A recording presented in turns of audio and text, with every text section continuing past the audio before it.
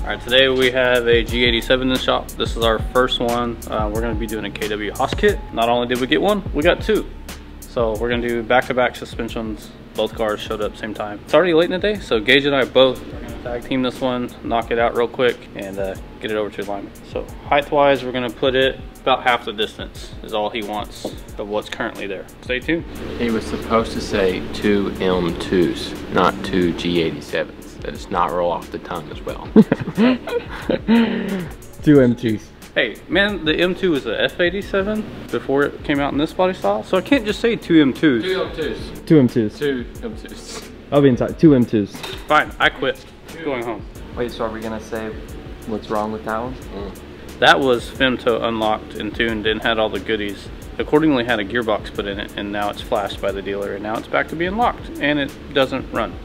Starts and dies. So it was towed here straight from the dealership. That's sick. So, yeah. so we get to fix that, but we're also lowering it because we have these in stock. Perfect. It's crazy that we haven't had one of these yet and then two show up basically same day. G81, which we don't have, very unfortunately. It's my dream car currently. These are crazy. I love them. Okay, so are these factory wheels or they're, I'm confused? They're not factory that came on it. This car had those. And he picked these up as a spare set because he bought a custom set of English Forge wheels through us. While those are being built and we're waiting, he picked these up so he could drive the car and enjoy it. That is the 963M wheel from BMW. Whatever that means, sounds cool. Yeah, leave a comment if you think those should go on Fruit Loop. You have to comment though, you gotta leave a comment. We're gonna do this whole thing in an hour? It's 12. The wheels off in an hour. I don't want to work that slow. Mm. Can, can we do it by... We, we need to stop and eat at some point. Two o'clock. Oh, God. I haven't eaten lunch in the last two days. I know. We've been like... Friends. Oh, damn. So, so close. So this is their HAS kit, which is height adjustable spring. Like a coilover, but it will still use the stock shock, so you retain your factory dampening and all of that. None of that has to be coated out or anything like that, like you would with the traditional coilovers. This little guy sets on the strut. Get to work, Gage. So if you're buying an M4, M3, or M2, the good thing is, is all these suspension parts are exactly the same, which amazes me.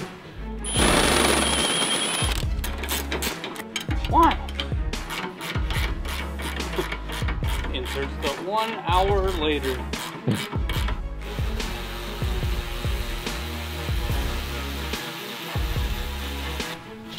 there being a spring. Cool. Got it. Yeah, kind of like coils around it and sets like so. I gotcha. All right, so we have the rear apart and ready to start gathering our parts out of here. Uh, if you're like most guys, we don't read instructions. It does send them, and I've done enough of these to where I don't need them. But if it's your first time doing a HAS kit, pay attention.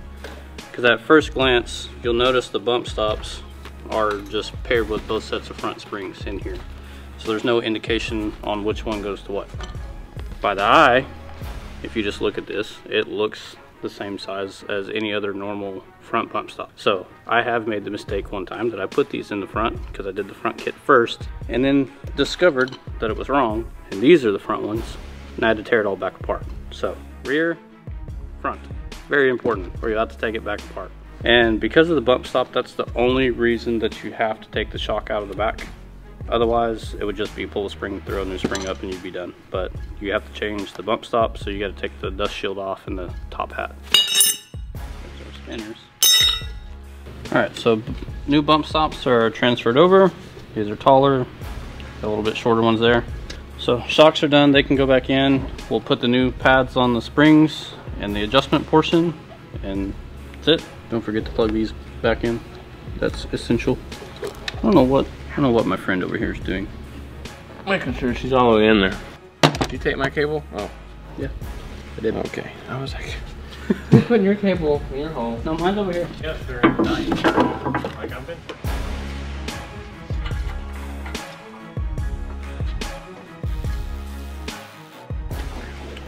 It's just a ratchet. He's not hurting anything. In case you're looking at that going, man, he's just sending it home. No, it's just an electric ratchet. they don't have much No. much force. These BMW mechanics are getting out of hand. I gotta buy that. Bro slipped on his tool and said, oh, you'll know if I hit you, you'll feel it. You think? Jesus. Man. Half inch ratchet to the head. You're fine.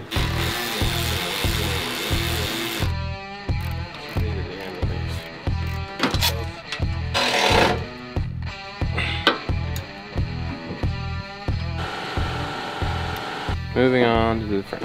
All you're gonna do underneath, 16 for the end link, 16 for the bolt, hold the strut in, and under the sensor that goes right here.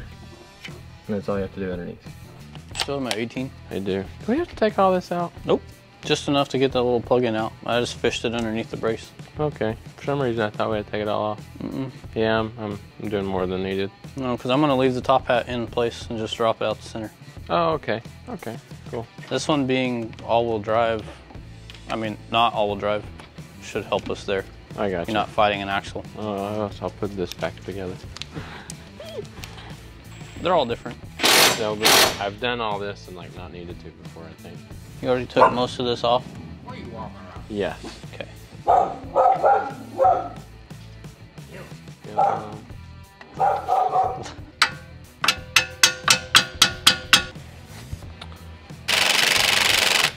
Alright, if you will, lower her down.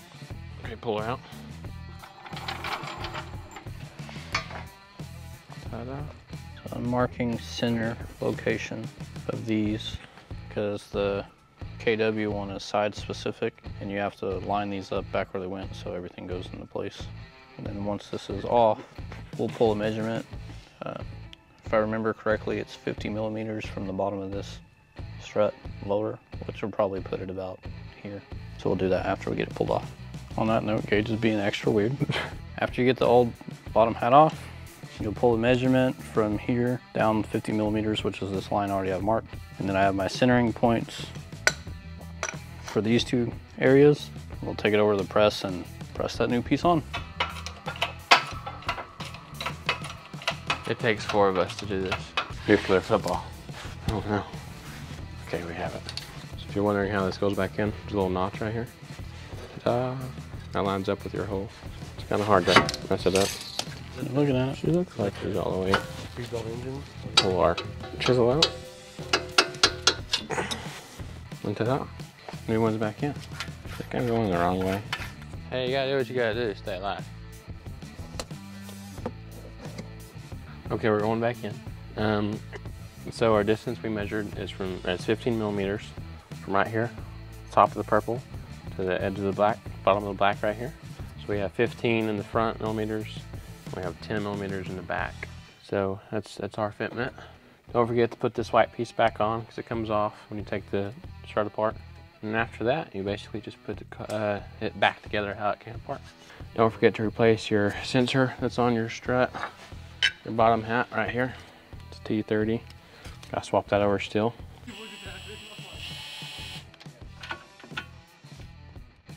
Knuckle and end link are tight. Yep. And you put you set the set screw on this Yes. Okay. officially ready for top trim and wheels. Okay, so we have officially finished the uh, true suspension part of the job, and now we're putting the top trim back on. And then after that, we will be putting the wheels and tires back on the car and uh, sit on the ground. See how she looks. It's going to look tall because the springs have to settle. Yeah, so don't don't get Yeah, so so carried away with how she looks immediately. drive it around, let it settle down, then make adjustments if you need to. It's gonna be bring your kids to work day every day. I was waiting for it to go down here. Fucking Mac goes, down, down, down. She said, "What are you What are you doing with your strange looking thing?" Very strange mammal. Smart thing. Stock height, basically. I'll measure the difference between these two cars real quick, and then uh, we'll see what the difference is before it uh, settles. Ah, it does. It looks great. It's hard to tell. Okay, so fender to the edge of wheel is four and a half inches before it's settled. Okay, this is a stock car, stock suspension, five inches. So we've dropped a half inch before we've even settled. So with settling, we'll probably drop roughly about an inch. And you remember we have 10 millimeters of room left before maxed and 15 millimeters before maxed from the front. So there's another half inch, roughly about three quarters of an inch before completely maxed out on our HAS kit. So we'll see. We'll drive it around in a minute and see how, how she looks.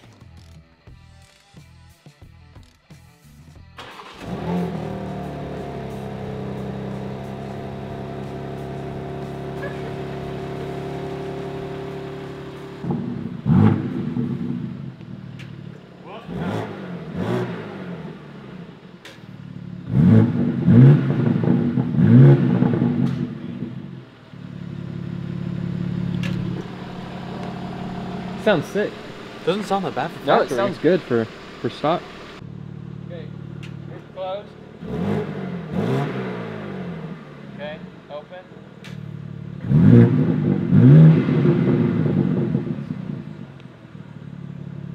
That's crazy. There's no fucking way of stock. That's Have you checked under it? Yep. There's no mid pipe, nothing. Stock. Oh, Wow.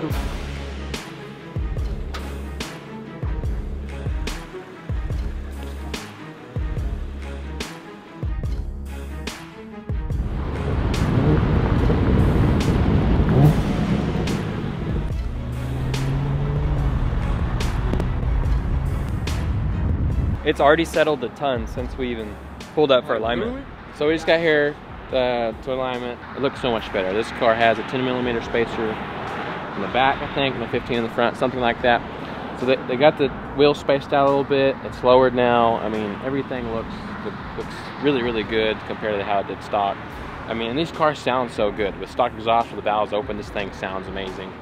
So, like, buying an M car right now, the M2 is the car to get, in my opinion. As from driving all of them and working on all of them, I mean, this car is, is, is amazing. Thanks for watching, guys. Please like and subscribe, and we'll see y'all later.